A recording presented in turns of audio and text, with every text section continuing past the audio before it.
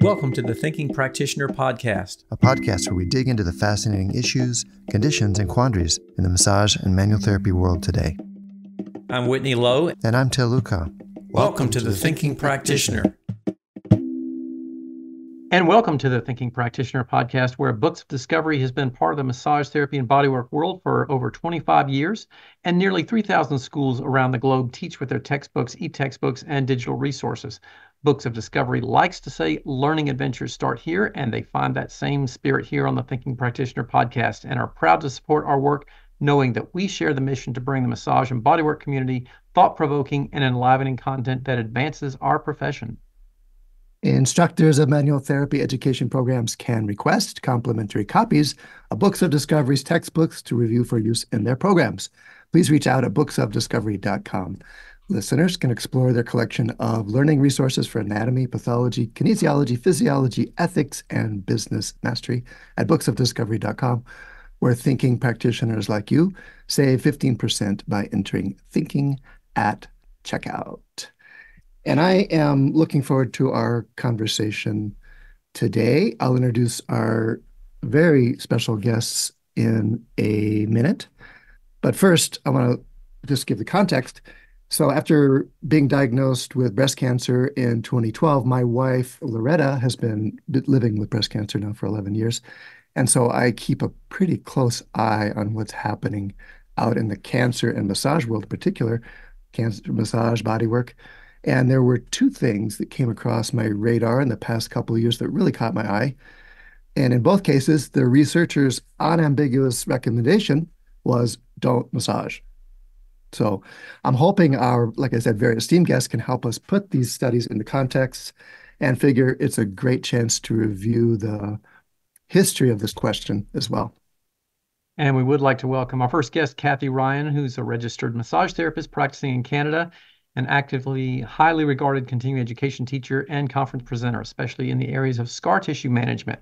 And you'll remember we had Cathy on our podcast previously in episode 42 uh, and also uh, involved with myofascial pain and dysfunction. So she's also authored works including co-authoring Oncology Massage, an integrative approach to cancer care for manual therapists, also from uh, Jessica Kingsley Publishers. So welcome back to the Thinking Practitioner podcast, Cathy. Great to have you again.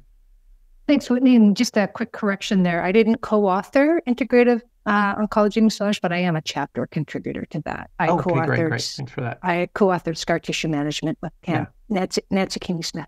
Okay. okay Thank you. And Erika Slocum, you're an oncology massage therapist working at a major East Coast cancer center, which is ranked in the top five cancer centers in the country, but which we didn't have time to get approval to actually name here. So you've taught intensive uh, oncology massage workshops with Tracy Walton, who we can name, very uh, very honored to be able to do so, who is a pioneer in massage therapy and cancer. You've taught with her all over the country since 2011. Thanks for taking the time to be with us, Erika. Sure, thank you. All right, so to start out, before we get into those uh, studies I mentioned, I wonder if you wouldn't mind uh, giving us your views about how recommendations on massage and cancer have changed over the years because context for myself back in the 80s early 80s when i was being trained we were just told flat out don't massage people with cancer because there's a risk of metastasis and we never know if we're spreading it. And that blanket recommendation has definitely evolved since then. And i know it's uh, a subject of lots of great work and discussion and deep thinking so, what are the current attitudes, would you say, toward working with people with cancer? Erika, would you mind starting us off on that? Sure, yeah. Um, I mean, as we know, we've come a long way.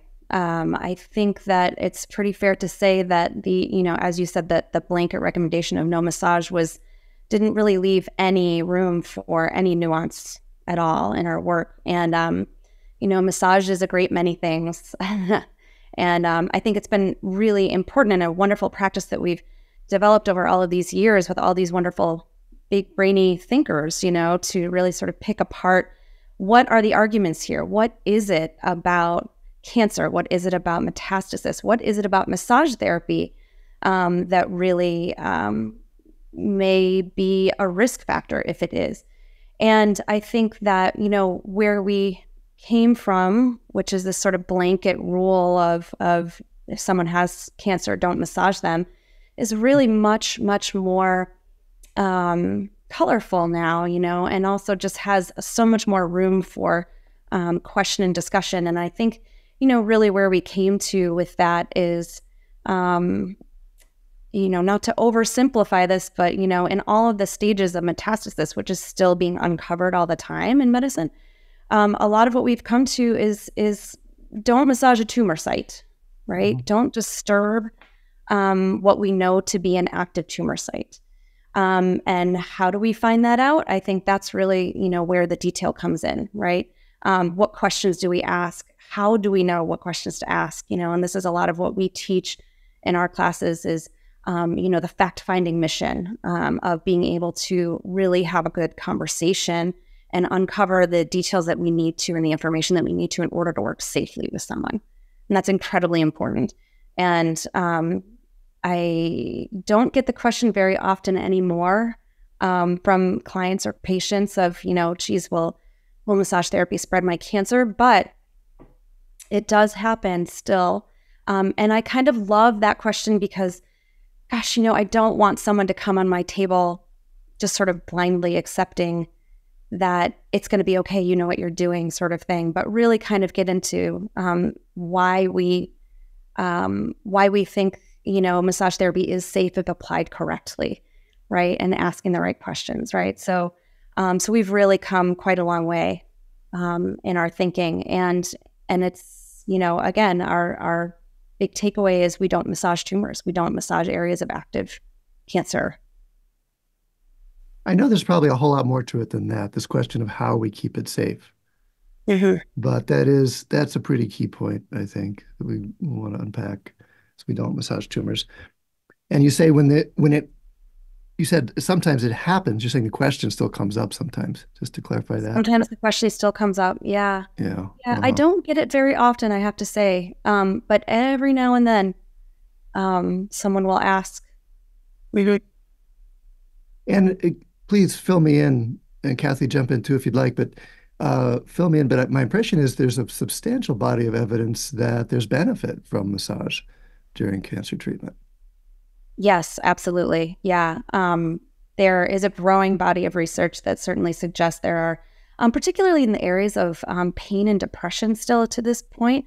Um, but certainly, I mean, I know Cathy. I'm sure you can jump in on on all of the ways in which we hear from our patients and our clients um, the way that it, it benefits them. Um, you know, certainly uh, you know, side effects, you know, symptom management, side effect management um, of cancer itself, but also, you know, the treatments come with uh, a whole host of, of potential side effects, and and really being able to um, to help alleviate some of that is is certainly part of the joy in my work.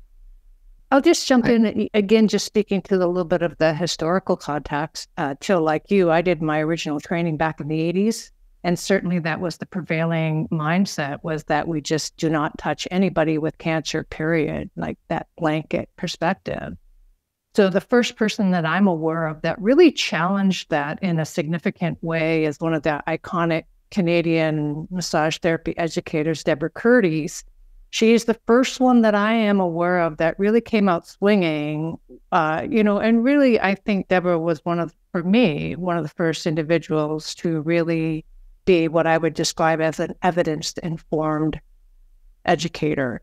You know, this was kind of what she was known for here in Canada. And she wrote an article back in the 1990s, you know, picking apart what we knew at the time about, uh, you know, what was understood about how cancer spreads and what we understood at the time, what was essentially, you know, potentially what we are capable of with our hands and how those two things intersect.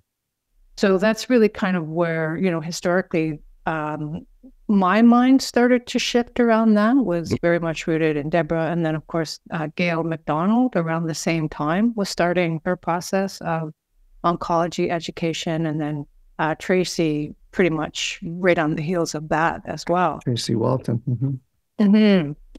So, all, you know, it all really pioneers is. in that shift, that paradigm shift. Exactly, exactly. And just to speak to, you know, uh, the benefit of massage therapy for people who are living with cancer, people going through various types of cancer related therapies, you know, and I think really two of the most robust areas of research for massage therapy are in pain management, um, and as well as uh, just, uh, you know, uh, mood, anxiety, depression. You know, those are kind of the areas that there's a lot of research to support how massage therapy can be a benefit to people. And uh, the Society for Oncology Massage is one of those organizations that is a, is a good hub for the more current research, as well as the Whitney mentioned Oncology Massage and Integrative Approach to Cancer Care, which was co authored by Janet Penny and Rebecca Sturgeon uh, from Healwell. Uh, also, a more current res- a, resource. Yeah, we've had guests on the show here. Right. We'll link to those two things you just mentioned in the show notes as well.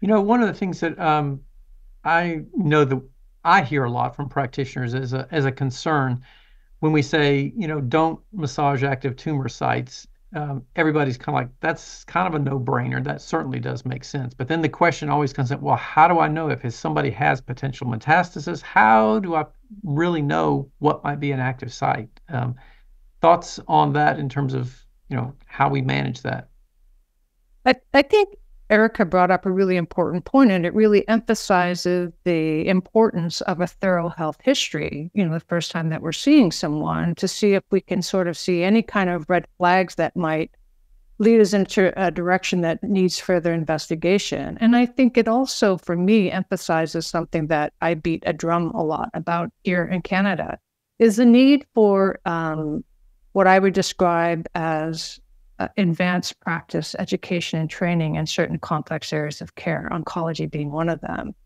And, and not to in any way devalue those educators like Tracy Walton, who's doing a phenomenal job of, and her associates of, of educating people, or Gayle or Healwell. Um, but I think we need something that is more standardized. We need some kind of valid accreditation process that doesn't exist. So there are individuals out there who are certifying people, but there's no, let's say, third party that's ensuring that certain standards are being met. Yeah. That is a that's a rampant issue, I think, everywhere in, in terms of a lot of these areas of, of specialized care for people with with healthcare complaints. Even here in Canada, considered kind of the Shangri La of massage therapy education and training, where we have re- really rigorous standards, I still mm-hmm. really strongly believe that there's a need for that. Yeah, I couldn't agree more. I think um, having some foundational oncology massages is uh, really vital, and particularly because, uh, I mean, you you can't not see someone that has a history, at least, of cancer. I mean, um, there's so so so many people that will walk into our doors will have a history of cancer, um, maybe active cancer as well, and um, and knowing what to do, um, even if you're not intensely trained, I think getting some foundational um, education around, okay, well, what can I do safely in this mm-hmm. case? And then once we have, you know, then we can refer them to someone else who has more training and can work with them a little bit differently. Or we get our training ourselves and then they can come back, you know, whatever it is. Um, I think that um, yeah, I, I, would love to see that. I would love to see that. I think when it comes to um, not knowing, that's always the concern, right? Is we it, coming back to this question of, you know, well, what if we don't know? What if the person doesn't know um, if they have an area of metastasis, for example? And I think this is an incredibly important conversation. I think it's um, really at the crux of some of these this, this research that we're going to be talking about, these studies that we're going to talk about too. Is um, yeah, well, wh- the big question for me is when do we refer? When do we um, bring mm-hmm. in, um, you know, a medical voice if we need to, or or um, or need more information before we work? Um, and I think um, I think that's a problem across massage therapists in general, not just in this sort of cancer realm, but um, when do we refer to other clinicians and and practitioners? And I think that you know, we talk about pain, reports of new pain. Is it nervy pain? Is it, you know, we kind of, we ask them to describe, you know, um, what they're really going through to see if we can kind of suss out a little bit further. Is this sound like the old injury from, you know, 1978 football, whatever? Or is this something different? Um, you know, kind of trying to get information. Um, some of this, um, to be honest with you, I think like we all have quite a lot of experience um, and we've heard many, many things. So some of it comes with experience. Um, and in lieu of experience or extra training, how do we respond? Um, what do we So do? let's, you're saying there's a role for experience, there's a role for training, there's a role for careful histories, there's a role for careful monitoring of what's happening and the symptoms that are arising during the treatment. Let's do uh, talk about those studies some because that, in some ways, this is one of the key questions in our understanding of them. First study, uh, well, let me just say too before we get into the studies, my wife really does benefit quite a bit from hands-on work in her now 11-year process, and both from me and from uh, uh, lymphatic practitioners. And I'm Mhm. just remembering that at one point she said, "Hey, you're working with my lymph. Couldn't you be spreading my metastasis around?" And her practitioner says, "No, no, you need the lymph to move. That's what helps deal with the cancer." That was the quick answer that for the client-facing inter, inter, you know, interaction that happened there. And it, it reassured my wife. She's watching this very closely, though, as we are having this discussion, of course. Okay, so these studies that make us make me want to think harder about it and talk more about it. First one from Peter Friedl uh, at the Fascial Research Congress in Montreal, 2022. It's unpublished work. Dr. Friedl actually responded to my requests for a conversation here with him about it really quickly. He's willing to come talk. However, the work he presented at that Congress hasn't been published, and he wants to wait till it's published later in the year. And maybe we'll get him to circle back around to comment on some of the things we talk about today. But his his presentation at the Fascial Research Congress, you were there, Whitney, showed live mouse tissue being with pigmented tumor cells in it. He was massaging the tissue with a probe, and you could visually see the pigmented tumor cells being pushed out or migrating out into the extracellular channels around the tumor. And his recommendation on the slide that came up there right after showing us that don't massage tumors. Did I summarize that more or less fairly, Whitney? Yeah, that's kind of what what I got out of there too. And then I know for me there was a couple of questions that came up out of that, which there always is with with research Right. in particular. Yeah, I was, we're like, Yeah. what? Wait a minute. Lots of questions which I want to unpack and go through.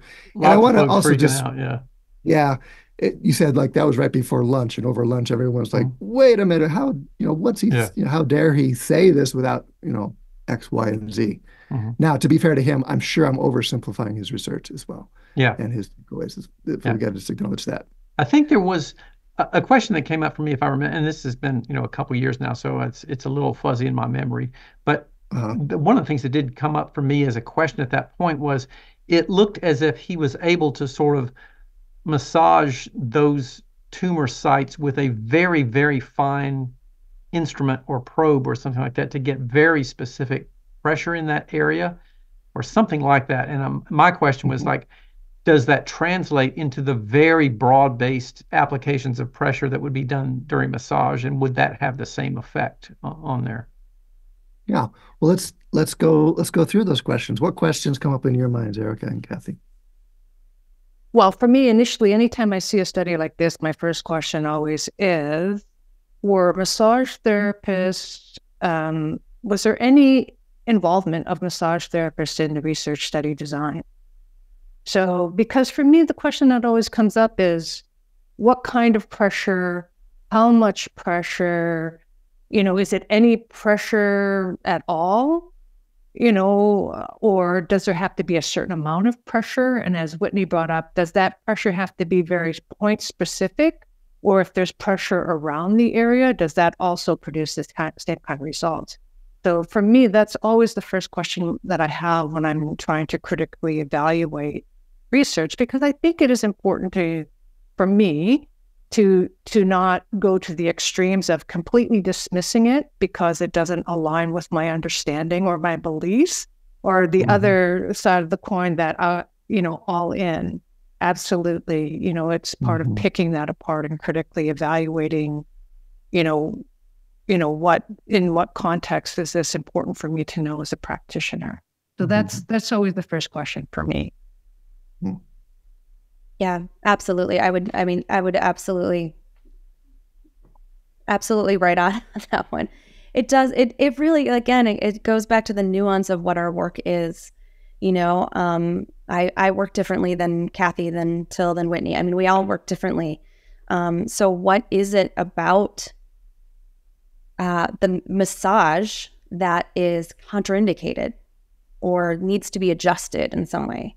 not just all of massage. What is it specifically about massage? And as Cathy said, you know, it's site, it's pressure, it's um, you know how much pressure, that kind of thing. And and um, I sort of, you know, the you know the reaction I, I typically get from one of these, you know, something that comes out too is always my first reaction is always like, oh man, you know, we're going back again. And then you know, I with this in particular, I was like, you know, I had to, I read through, you know, this other study a couple of times. I looked at this video and, and in a way, it's actually kind of validating for what we're already doing. You know, when it says don't massage a tumor, we're not massaging tumors. And to to your point, you know, earlier, um, we probably didn't have to have extra training to know that we don't massage tumors. Um, but that's essentially what uh, I took. Um, one of the big takeaways here was we don't massage tumors, and and that remains. So I'm not sure necessarily if some of these things change what we're going to be doing uh, in oncology massage therapy as a practice, because that is tenet number one in oncology massage therapy. Okay. There's, of course, my mind got busy after seeing this presentation on looking for the chinks I could get in with my biases and beliefs. and uh, like some of them, I'll just narrate some of them to you. For sure, we don't knowingly massage tumors. And even unknowingly, we don't know the directionality of what we're doing in relationship to the tumor. If the tumor is unknown, we don't know if we're massaging toward the tumor or away from the tumor. What his research shows, very careful, specific scraping away from the tumor did ma- did passively migrate some of the pigmented cells out of the matrix. What what's to say that uh, going toward the tumor doesn't slow the progression of cancer as well? So you just say rationally or mathematically, the odds could be uh, even that we're accelerating or slowing down cancer. Who knows? Unless that study that's actually been studied, we don't know that it doesn't slow down cancer. There's not a benefit toward massaging toward tumors. Anyway, that's again, that's my like, you know, uh, rational mind looking for arguments to have with him. So hopefully, I'll get to have that discussion with him at some point too. If I can just make a quick point too, like I think that there is there's this question of rate of metastasis or like speeding up the process. Okay. And there's a question of encouraging metastasis. And I think they're actually very different. So when it comes to encouraging metastasis, that is tumor, me, pressure directly applied. That that's what that feels with. And and I feel like too, by the way, I also want to add not just my mechanical pressure with my hands, but um, joint movement as well can also affect or potentially dislodge or you know encourage cell movement or whatever from this tumor, right? Um, so there's there's that piece, but then then it's the movement of those cells. So we know that cells are constantly sort of shedding off of the primary tumor site, whether we press there or we don't. It's happening all the time. Mhm. Mhm. Many, many of those cells, millions of those cells, they're getting killed off by the body's own immune system as it passes through our blood and our lymph, right? Mhm. So I think that's a I think that's really important to to note that first of all those two distinctions, and then, you know, I think the question back when Deborah Curtis was writing that article was, can we actually speed that process up? If we're massaging someone, does that mean we're a increasing blood and lymph flow? Which I think jury really is still out on that. I don't think we have a lot of sort of data about systemic increases in blood and lymph flow. Um, We know that compared to exercise, no. For example. Yeah. Exactly. Right. And so thank you for making that point because, yes, so can we as massage therapists speed up the rate? And also, does that matter? So Hmm. even if we, if we're speeding up the rate of which those cells are moving around the body, does that mean that it's going to plant somewhere quicker? You know, I'm not, I I don't think so. I'm not Yes. sure. Right. Um, yeah. But then also to your point, patients are often, almost always told, please move as much as you're able to. Mhm, You know, mhm. some people are still running 12 miles, some people are on the couch, right? So what what does that variation look like? But but they're increasing their blood and lymph flow by moving their bodies and they're encouraged by their medical teams to move their bodies. So if we take this to the logical extreme, does that mean we shouldn't do mammograms because they also involve pressure? Does that mean that we shouldn't be sitting on places that might have a tumor? Does that mean we shouldn't be lying on them? Because basically, to be again, I'm probably being unfair to his conclusions, but his uh, recommendation was pressure can uh, passively move tumor cells. That's his basic takeaway. So does that means we should just leave people on a couch or on bed forever and not move? So we don't want And to they're also pressure from that chair or that bed or that couch. There you go. right? Okay. So, I mean, I have a patient that I work with almost weekly. She has bone metastases kind of all over. Um, and she, I give her an exceedingly gentle massage. I am not disturbing anything. I'm, the tissue is not moving. And she gets a wonderful, relaxing massage. And sometimes I have this thought of like, I'm putting less pressure on her body than the back of a chair would, right? Yeah. So, um, or, you know, people hug each other without thinking about it. You know, are you giving someone a hug and then, right? So I, I feel like there's,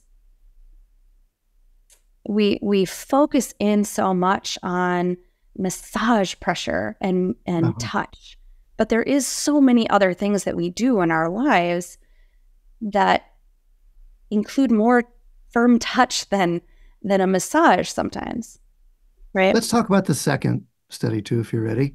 Yeah, This was Before, Til, before Go we ahead, go ahead, jump Whitney. there, Yeah, I- sure. just one more quick question before we get to that. Mhm. Um, I wanted to go back to this effects thing for just a second because, you know, Til, as you mentioned, there's there's been kind of studies that have indicated that the blanket statement that we many of us were taught back in the 80s of massage increases blood flow, you know, has not really been borne out in terms of systemic blood flow increase. But there is certainly suggestion that soft tissue manipulation may encourage superficial increases in like say capillary perfusion or something like that at the surface level and i know some of the concerns about metastasis or spreading it has been not so much about pressure but about increased blood flow what about i'm just curious to hear your thoughts about something when we think along the lines like well maybe that's not going to impact a deeper tumor so much but maybe what about something like skin cancer where there would be an increase in superficial perfusion of blood uh, through the skin. Does that come up in any concerns or discussions about some of these possibilities?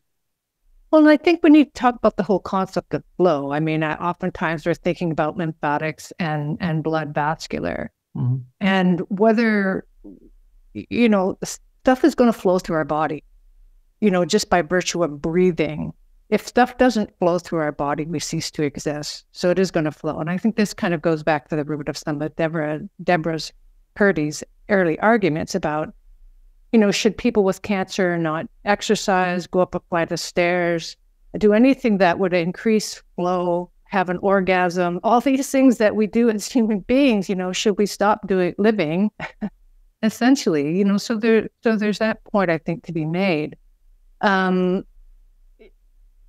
you know, there's my understanding of metastases is there is the movement or shedding of cells and then there is the state of the environment of where that cell goes to in order for, you know, a tumor to start to form or take hold. There has to be a certain thing going on in that distant environment in order to support the development of that. Mhm. You know, and I think these are some of the really important questions about that are still unanswered in, in cancer research about, you know, all of those things that have to happen in concert in order for something to move and then establish itself. And certainly we saw um, at the Fascia Congress in Ber- Berlin, Dr. Neil Theise is uh, talking about the interstitium, the new the new system or tissue, and talking about they had discovered cracks in the interstitium. And at first they thought they were artifact, but actually these cracks allow for the movement of fluid to move from one space to another space. And that the flow channels in the interstitium, uh, essentially, that is your pre-lymph. And at some point, that flow channel aligns with the lymphatic vessel, and that's how eventually flow goes into the vessel.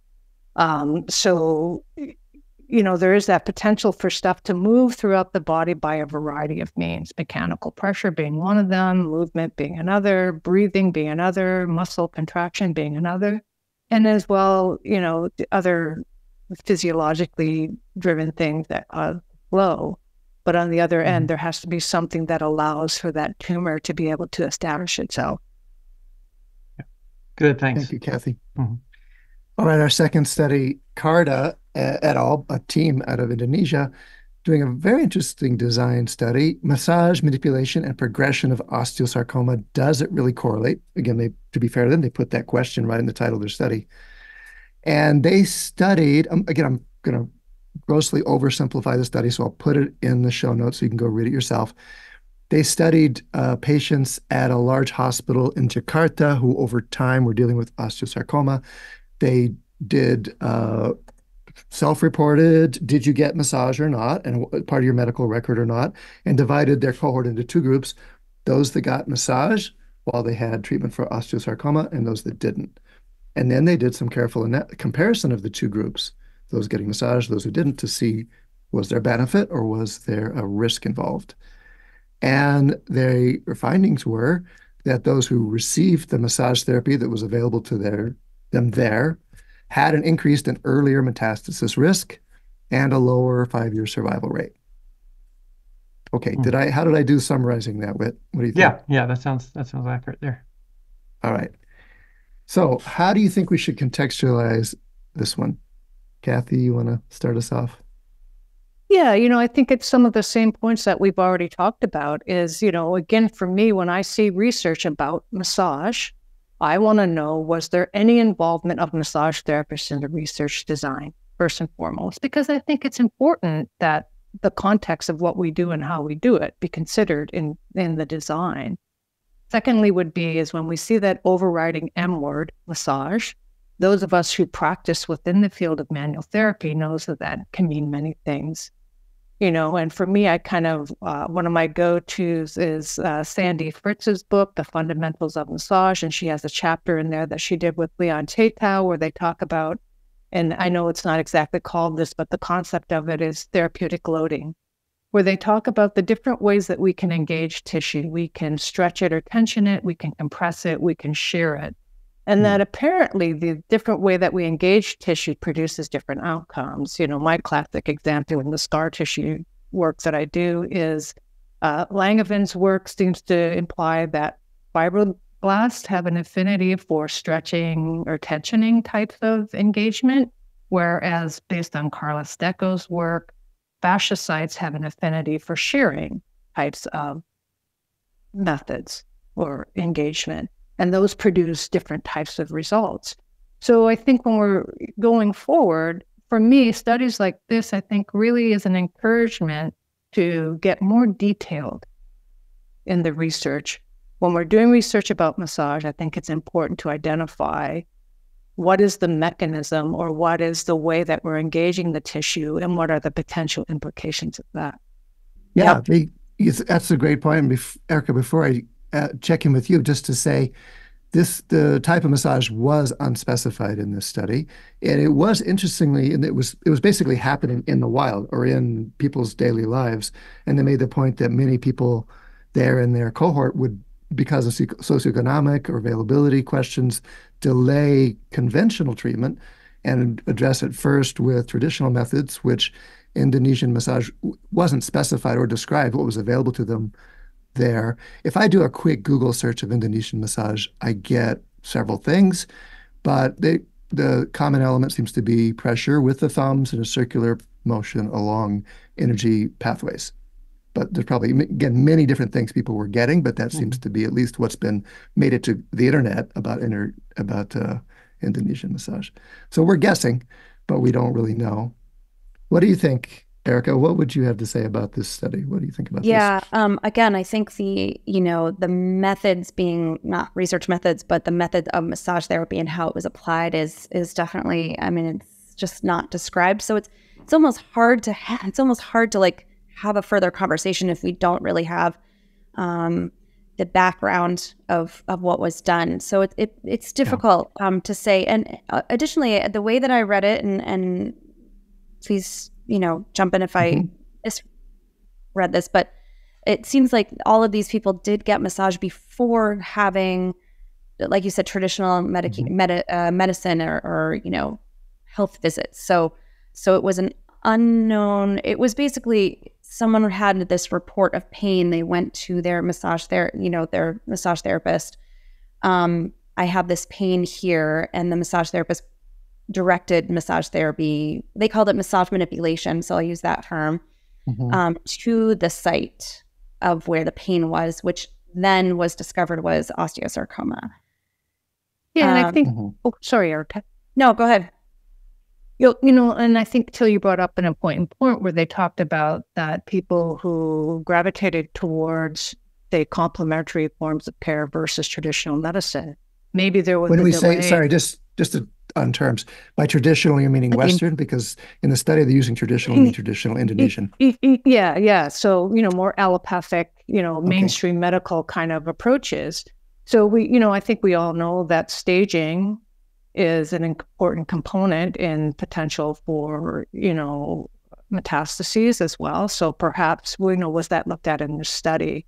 So at what point were these individuals who had previously had massage, what was their staging? And was that different than, say, the ones who, you know, more quickly went in for uh, mainstream medical diagnosis or evaluation?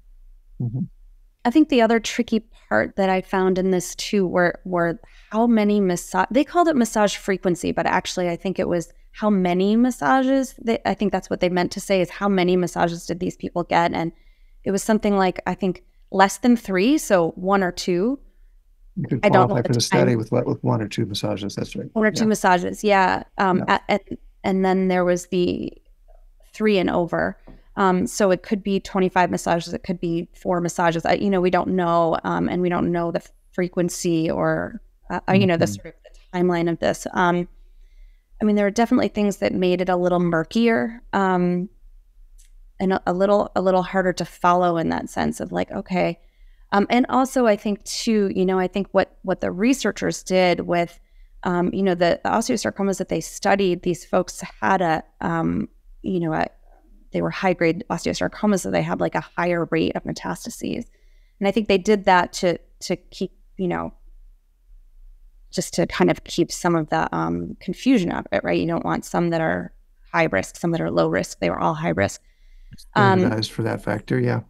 Yeah, but it but it, it does, you know, in my mind, it sort of is like, oh, that's an interesting point, right? You know, they were they they had a high risk of metastasis anyway yes, it does appear that this group of people that did receive massage therapy did have metastases earlier um, than these other folks. Um, but I, mm-hmm. I think it, I, I think in in effort to make it less confusing, there was sort of a muddling of of you know what happens there. And so then again, it's like, okay, well, what really was the process that happened? What was the thing that you know we're guessing. We're guessing a lot of things here. And I did actually reach out through my source, which was Indonesian, to see if I could get in touch with the researchers and wasn't able to there because I mm-hmm. would be very interested to hear more about it because these unknowns uh, mean we can't really uh, get too nitty gritty about it.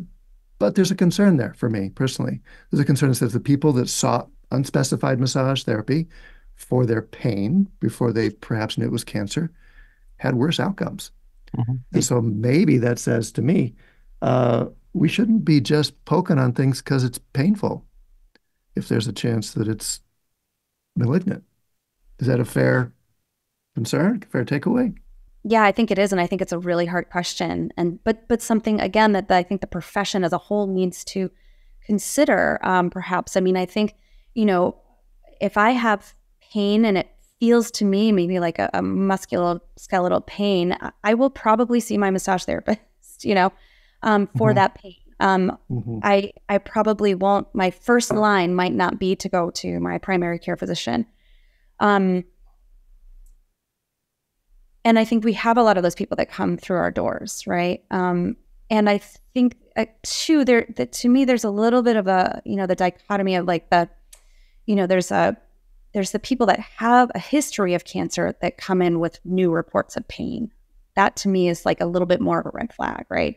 And then there's people that don't have a history um, who come in and have reports of new pain. Um, I mean, I think some of the questions that we, you know, that we talk about in, in our course, for example, are, you know, again, get sort of granular. Like, tell me what that kind of pain was. Is it explainable by anything? Is it getting worse, not better? Um, do you have nervy symptoms with this, or even motor functions, you know, symptoms with this?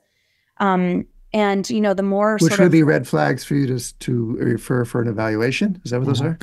Yeah, absolutely. Especially if there's, um, again, because I work with, I work almost solely with cancer populations. So I, my my view is sort of like if someone has a history of cancer and they're reporting these things, um, yeah. yeah. all the flags go up, and you say, I really think you need to talk to your doctor before we go ahead.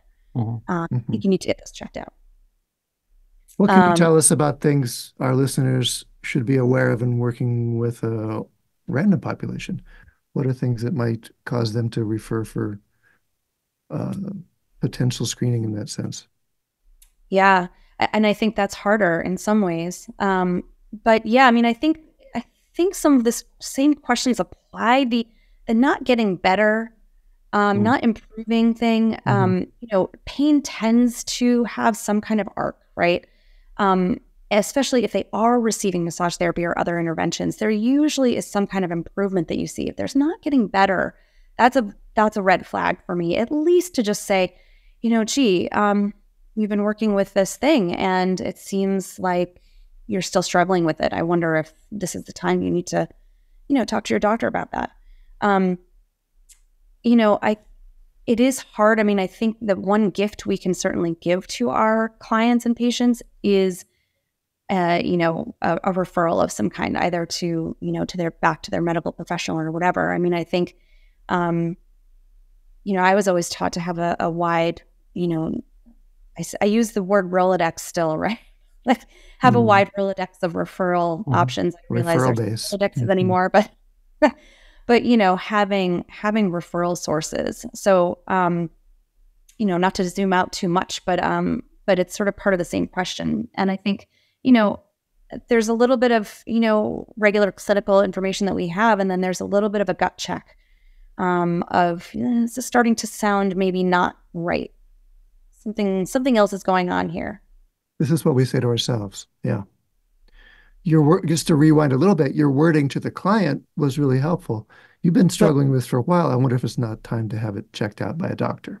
Mm-hmm. Something like along those lines can be really helpful Just didn't have the script or the words to say. Cathy, anything to add here? No, I just, you know, I think it would be um, almost impossible in an initial um, interaction, mm-hmm. you know, with with a patient or a client to discern if their pa- their pain has some more complex component to it. Mm-hmm. But you know, I think Erika brought up a good point about you know that importance of looking at the big picture. You know, taking a thorough health history, whether or not they have some history of cancer, um, just the context, the quality, or the characteristics of their pain um, was there any kind of event that happened that they can link to how this issue started or related to their occupation, some kind of, you know, uh, repetitive or positional kind of issue? All of those questions I think are really informative for us um, in, in helping to try to figure out, you know, is it safe for me to proceed? Or in what manner should I perceive that could be safe for this individual? So perhaps on a first session, we don't go in with the elbow right into a painful spot. You know, perhaps we start with something a little bit more conservative to see how the person's body responds to that. And as we continue to gather more information. Yeah, I was just going to ask uh, in terms of like trying to make some of those initial decisions. I'm curious from both of your experiences in working with a lot of people um, having cancer, because this is not my area of specialty by any means. If if the person does not have a characteristic pattern of something that would tend to indicate a musculoskeletal problem, the standard kinds of things that most massage therapists would run, run across, like the, the kinds of things like when you do a, a particular active motion test or a passive motion test that would likely make a musculoskeletal complaint get more aggravated or not get aggravated. And if you don't see those patterns and the pain that they're having is outside those patterns, but maybe persistent or something like that, does that then increase your likelihood of thinking along the lines of now I got to think more about systemic kinds of issues or something like that that might at that point really increase my awareness and perception about the possibility of something like that being there. Does that make sense? Absolutely. Mm-hmm. Yeah, I yeah, think that it, I think that's a good point too. A good addition is is that it doesn't follow patterns that you typically see mm-hmm. um, with you know muscular dysfunction or or tension related you know. And we and we see other examples of this in practice too. You know, I can relate it to experience in my practice where I had a client come in who, when they called me, said, "I believe I have plantar fascial thing going on or a tendonitis thing. My doctor wants me to come and see you." The person comes in and, you know, I'm looking at both of their legs and I can see in the leg that the person is having the difficulty with um, edema from the knee down, which very much to me was like, uh, blood clot, mm-hmm. you know, because it had all the indicators. It just didn't follow the typical pattern of what I know a tendinopathy or a plantar fascial issue to be. You know, and that's the moment when I say to the person, you know what, it's not really fitting the profile of what I what I think, you know, is indicated is going on here. My suggestion to you is to go to Emerge um, mm-hmm. and tell them that you know my massage therapist thinks maybe there's a possibility of a blood clot because there were other things that person's age and other things on their health history that kind of fit mm-hmm. so you know i think we see a lot of examples of this in practice that we have to be mindful is this fitting the typical profile of what we would normally expect in the context of a, a musculoskeletal myofascial kind of thing. Yeah. Great thanks. Good point. I was going to say, I know with my wife, when she has, uh, you know, she, years of working on her, my N of one and my own personal study here, it's, uh, I know that I'm uh, more reluctant to do deep, focused work on the places that hurt, knowing that she has active metastasis as part of her cancer journey at this point. And that feels appropriate. It feels right to both of us. And yet, the touch and the work she gets both from me and from other caregivers is such an important part of her ongoing process that I can't imagine leaving that out completely. It's more like uh, incumbent on me to learn how to work with her within the realms of what feels safe. So that's part of this conversation today with you all as well. I actually love what you. I, I feel like what you just talked about was a partnership with your. I'll call her your client. I know she's your wife, but yes, but with your client or patient, which again, it's it's um, I mean, we talk a lot about partnership in you know at the clinic where I work with. Yes, we have a certain expertise and we know when not to do things or when we things are indicated or things like that. But but it's it's a conversation. You know, it's always a conversation because it's even possible if they're going through chemotherapy and they had a massage that the massage you gave may have been a little bit too much for them that day. You know, it's like, okay, well, let's timestamp this all right, this was two days after your chemo. Okay. So next time, you know, so it's this constant feedback loop, and and it's so nice that you have sort of continuity of care with your wife. To like you said, this study of one, but I mean, it's. I'm sure you've seen a lot um, of change over hmm. time mm. with her, and, and mm. I think it's important to have the communication piece there with our clients. Well, I think to me, for me, this kind of you know fits with you know what is critical thinking and for me it is that intersection intersectionality of the three pillars of evidence informed practice which is science and research clinician experience and patient values and input you know and and i think Til i think you just beautifully framed that thanks for the conversation today what thoughts would you like to leave us with erika so many, but no, I'm, I'm I'm very appreciative of this conversation because it is true. Like we do sometimes have to go back to um, maybe some things that we thought we were done with, right? Or or we've moved on from. But but um, I as I said before, I think that looking at any sort of new piece of information that comes out is almost the same as a as a, a patient, you know, tomorrow asking me, is it are you going to spread my cancer by doing a massage and i so i feel like the I want to um, sort of um, as an oncology massage therapist, we don't take risks with our patients. We're actually quite a careful bunch usually, mm-hmm. right? And um, and I think it's really important to, in some ways, continue to have this conversation because it, it validates where um, where we came from, but where we are now, and how the conversation has shifted. And I think, um, you know, and and kind of going back to to what we know is true, and um, and yeah, I th- I think it's I think it's important to continue to have these conversations every now and then, right? mm-hmm. As we do our work. I mean, yeah. you kind of get in the weeds a little bit. It's kind of good to zoom out and see what the rest of the world thinks about what we're doing. Well, thank you for joining us today, yeah, Cathy. Right. What what would you like to leave us with? Well, and it, it, always my gratitude to the both of you for you, know your willingness to engage in these thoughtful, informed conversations because I think that really helps all of us to grow as practitioners. And I just think you're doing such a great service to the profession by doing this. So first and foremost, thank you for that. And and again, I just think that you know research helps us to ask better questions.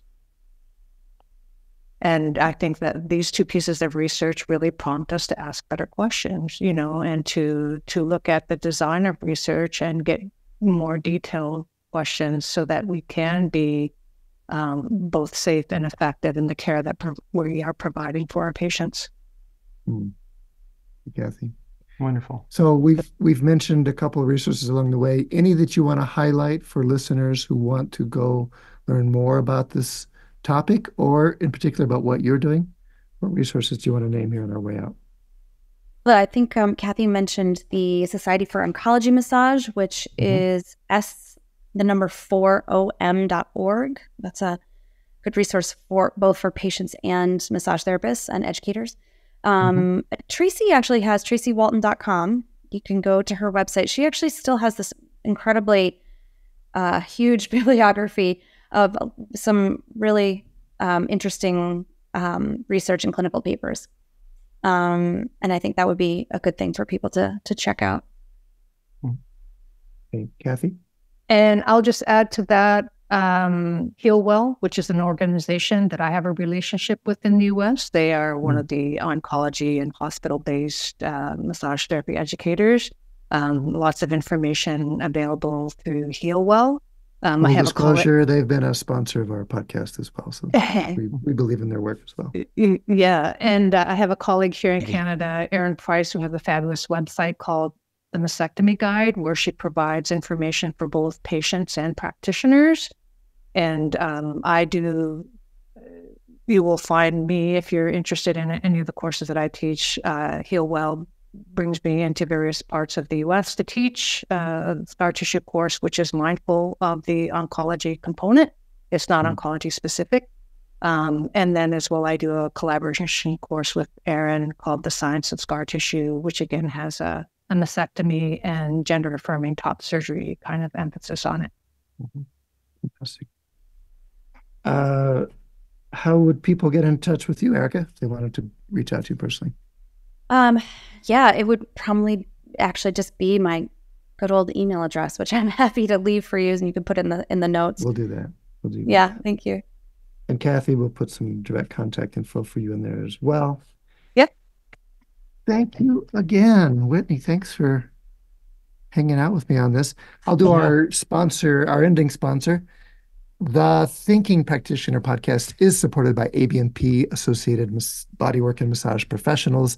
ABMP membership gives professional practitioners like you a package, including individual liability insurance, free continuing education and quick reference apps, online scheduling and payments with PocketSuite, and much more and ABMP CE courses, podcast, and Massage and Bodywork magazine always feature expert voices and new perspectives in the profession, including from Til and myself. Thinking practitioner listeners can save on joining ABMP at abmp.com slash thinking. So thanks again to all of our listeners, to all of you all, and our sponsors. If you would like stop by our sites for show notes and videos, uh, you can get uh, transcripts and all kinds of extras there. You can find that over on my site at academyofclinicalmassage.com. And Til, where can they find that for you? advanced-trainings.com. If you have comments uh, for our guests or for us or things you'd like to hear us talk about on the show, just record a short voice memo on your phone and email it to us at info at thethinkingpractitioner.com. Regular emails are accepted as well. Or look for us on social media. I am at Til Luchau, my name. Whitney, what's your name?